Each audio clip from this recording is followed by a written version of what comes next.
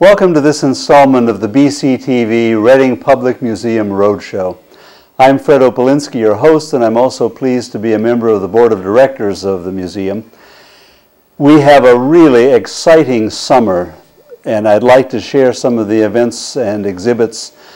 One of them is a big show, a very big show. It is called Dinosaurs Around the World Passport to Pangea.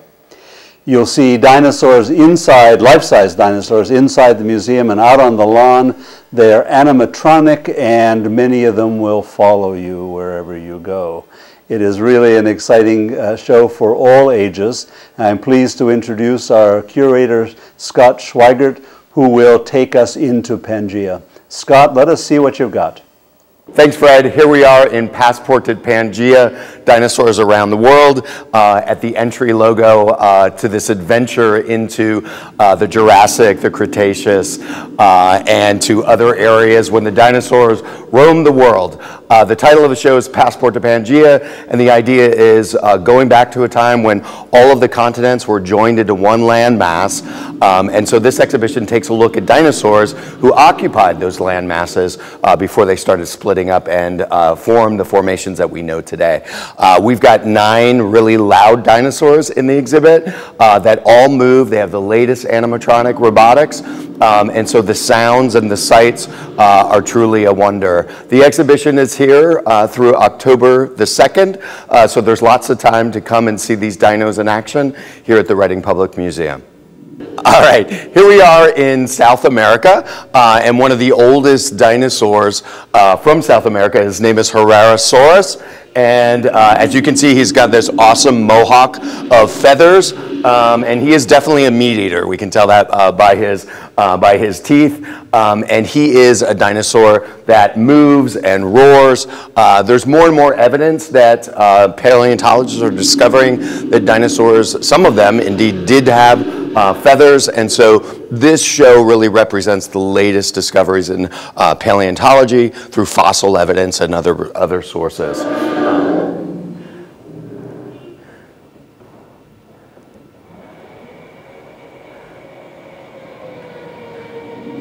So we know a lot about their, their body structures, obviously from uh, fossil evidence. Things that we don't know, we don't know exactly what sounds they made. Uh, we don't quite know what their skin looked like uh, what colors they were, uh, but paleontologists and uh, the, the, designers of the exhibit have done some spectacular things uh, with these creatures, making them as lifelike as possible.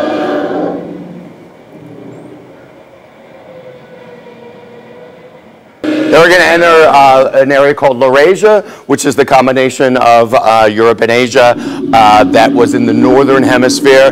As we go and visit the Iguanodon over here,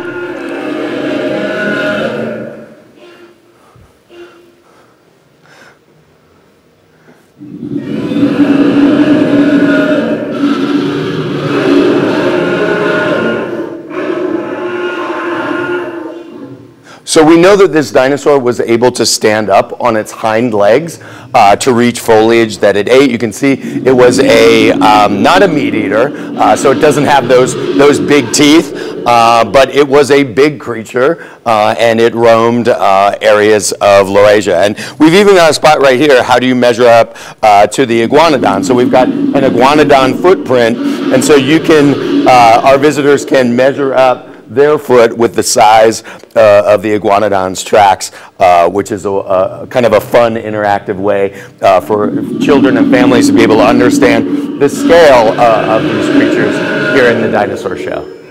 This is the Neovenator, uh, which is a meat-eating uh, dinosaur. It's pretty ferocious. Uh, you can see uh, from his uh, body structure, he's sort of like a mini Tyrannosaurus rex. Um, and we know his, some of his statistics. Uh, he could be up to 245 feet long. Uh, we know that he lived in the early Cretaceous period and he was a carnivore. And I think uh, any eight-year-old can probably tell you that. Uh, that's what's fun about this show is uh, the, the, many of the children who come to see it, they are experts in dinosaurs, uh, far more expert than uh, their parents in some cases. They know the details of these creatures, where they lived, what they ate, who their, pre who their prey was, um, and what their behaviors were. Um, so it's sort of like um, Dinos 101.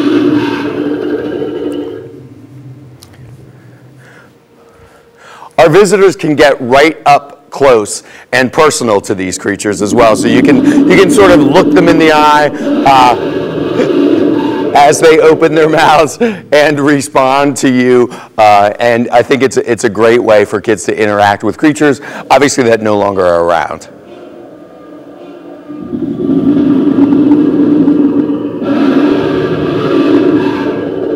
Okay, now we've, now we've made it to Asia uh, and to the velociraptor and the oviraptor. Uh, this creature, the oviraptor, got a name, uh, got its name, which means egg stealer, uh, because a fossil was found uh, with one of these creatures uh, at a nest of dinosaur eggs. So the assumption was that it was eating those eggs. It was probably more likely a mother protecting her nest um, and so uh, here is one of these creatures uh, that lived in places like uh, Mongolia, uh, in Laurasia. It's a late Cretaceous period creature, and it uh, lived about 75 million years ago, and it was a carnivore. So you see the fur slash feathers uh, that uh, many of these creatures have. And uh, again, this is a re response to the latest fossil findings um, that, uh, that dinosaurs are much, close, much more closely related to modern day birds um, than was thought before. Here is Oviraptor's cousin, uh, the Velociraptor, uh, which was a carnivore uh, and was quite ferocious. Uh, you can see it is decked out in uh, uh, feathers and it's got those long teeth that carnivores need to eat their prey. This is also a Cretaceous period dinosaur and lived in places like Mongolia and Laurasia.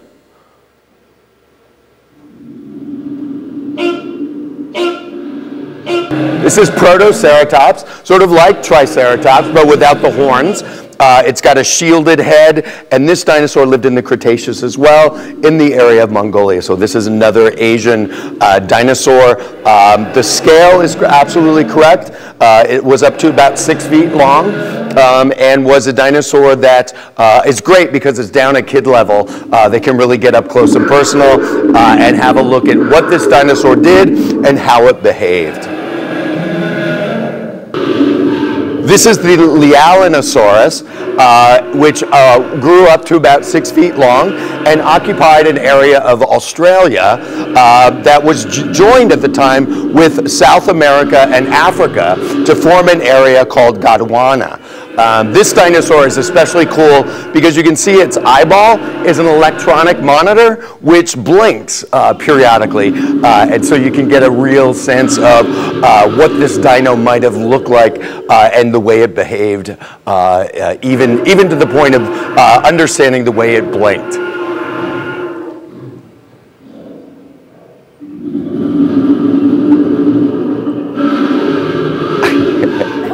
Well, Scott, that really is an awesome exhibit. It will be at the museum until October the 2nd, and it is locally sponsored by McDonald's. By the way, we're having a number of activities that will be sponsored in conjunction with the Dinosaur Museum, and you can check those out on the museum website. For example, if you've got a birthday coming up in your family, you can have a party at the museum with crafts and games, uh, the dinosaur theme, and lots of prehistoric fun. If you're interested in finding out more about that, they're booking parties until September the 25th, and you can contact Laura Oswald at 610 371 5850 at extension 235. Now let's turn our attention to another exhibition, one that's designed to get you to think. Brain Teasers is filled with 21 challenging designs to sharpen problem solving skill and to provide plenty of fun. This interactive exhibit runs through January 8, 2017 and is sponsored by the Wyomissing Foundation, the Friends of the Reading Public Museum, and the Bruce and Renee Dietrich Endowments. Okay, Scott, let's see how smart you really are with solving these problems. Thanks, Fred. Here we are at Brain Teasers 2 and City Blocks in the Meinig Family Gallery. Uh, this exhibit is up here until uh, January 8th of 2017. So it'll be up here all summer as families are coming to see uh, our Dinosaurs Around the World exhibit. Um, it's a space that is great. It's got five work tables uh, which have um, brain teasers, uh, which are mostly puzzles and um, geometric um, uh, uh, solutions uh, to, to some of these brain teasers. They will stump many of our visitors. Actually, they've stumped a lot of staff here. Uh, there are a few of them that, that are uh, pretty easy to figure out, but many of them require lots of thinking. Um, some of them are word puzzles, um, some of them are geometric puzzles, some of them involve color, some of them involve planning and thinking ahead and strategy. Um, so these are great skills for, uh, for our uh, early learners to have. School groups have been using this um, during their school tours, um, and it's been a really fun space uh, to explore and to, to flex our brain muscles. So here's one of our puzzles, um, and it is a sort of a geometric um, uh, challenge. And so the idea is you've got to fill in this letter T template with each of these pieces. So they have to be green side up. Um, and so, uh, you know, the first time I tried this, uh, obviously you try to start with the, the ones that you think might work uh, the, the best. Um, and so, uh, you know, you've got to move your pieces in all different directions, uh, trying to solve, oh, that's, that's not going to do it. That's not going to do it. What do I do with this extra piece? Um, and eventually, uh, you come up with a solution uh, like this. And so once you've solved it, uh, then you know it. And so if you're with a group of people, uh, each working at a station, um, you can take turns. And uh, the, the, the, great thing about this show is it says, please don't leave the solution. So you want to challenge everybody to have a fair chance. And so these pieces go back in the slots for the next person to give it a try. Here's another one of the Brain Teaser Challenge challenges. So you've got to go from um, these discs uh, in the shape of a pyramid uh, going upwards to uh, a pyramid pointing downwards. The trick is you can only move three of the discs. Um, and so let's give it a try. So let's move this one up. That's, so that's one, two, three. Uh, no, it's not going to do it. Uh, let's try that again. Um, let's move this one this one, and that one. Nope, that's not going to do it. Uh, so trial and error uh, eventually will get you to uh, something like this. Let's move this one down and these corners up, and there you go, it's solved. So the other uh, dimension of this gallery is uh, city blocks, and these are just uh, planks made out of uh, solid wood um, that our visitors can uh, explore and create uh, lots of different things. So you can see everything from towers to, to fences to structures.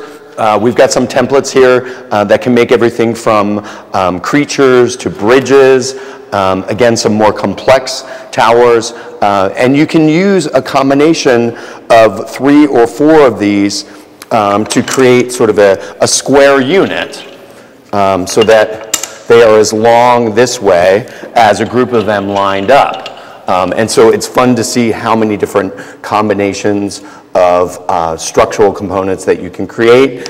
Um, and again, everything from uh, ships to helicopters to trucks to towers and skyscrapers um, and architectural elements. And it's a great way for kids to sort of explore um, built in the built environment. Um, it gives them a challenge to uh, see how tall they can make something, um, how solid or secure their structures can be. We've got some inspirational uh, banners here in the museum uh, space as well. So everything from ancient architecture um, to domestic structures, roller coasters, bridges, um, and other structures that we see all around us in our daily life. And so um, how do those things get made um, through individual components? And so this is a fun way, again, for kids to uh, get creative and explore um, with building units. So the idea is you've got to trace all of these elements without uh, without doubling back. So here I've already failed. Uh, let's try this way.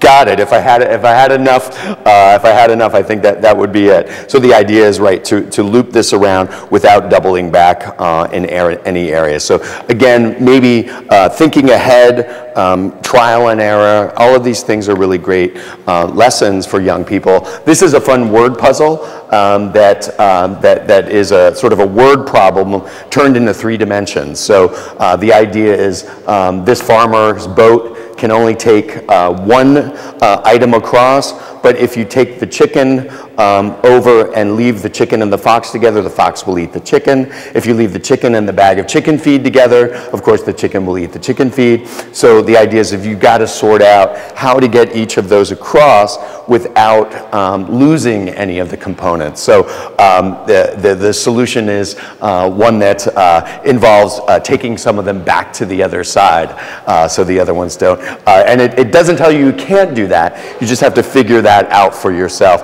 uh, because the combination um, otherwise just won't work. Um, so again, a great uh, sort of word puzzle uh, turned into three-dimensional, uh, and so it's something that you can, um, that others can chime in on. You can help each other solve it. Uh, you can solve it as a family. You can solve it as a class, um, or you can sort of toil over it um, on your own. Uh, and so it's a, it's a fun way again to bring um, uh, lessons to life, um, to engage visitors with their hands and manipulatives, and some learners, that's, that's the best way to learn. Um, and so uh, we, we, we like to bring all of those sorts of ways uh, of, of understanding our world uh, to our visitors here at the Reading Public Museum. All right, I'm impressed, and I'm looking forward to trying out some of them myself. It looks like it's a fascinating exhibit. Again, that is running until January the 8th. Before we look at our last exhibit, I'd like to mention that the Reading Public Museum is offering a summer bus trip to the Phillips Collection in Washington, D.C. on August the 30th. This all-inclusive day trip will tour the Phillips Collection's special exhibit, William Merritt Chase, A Modern Master. The bus will leave from the museum at 8 in the morning and return sometime after 5.30 in the afternoon. For more information or to make a reservation, please call Wendy Kohler at 610 371 5850, extension 223. Let's go back now to Scott, who's ready to show us works on paper by the Mexican artist Jose Luis Cuevas on display until October the 21st in the Works on Paper Gallery. This exhibit is sponsored by First National Bank. Scott, let's see what you've got on display there. Here we are in the museum's Works on Paper gallery on the ground floor uh, for a show that is called uh, Cuevas Works on Paper. Features um, a portfolio of works by Jose Luis Cuevas, who was born in 1934 and is a Mexican artist. Um, he's a Mexican expressionist uh, who, was, uh, who uh, is still living um, and who sort of challenged the notion of the generation of artists that came before him, uh, the Mexican muralists uh, like Diego Rivera and Orozco and Siqueiros, who were in the business of heroicizing everyday Mexicans.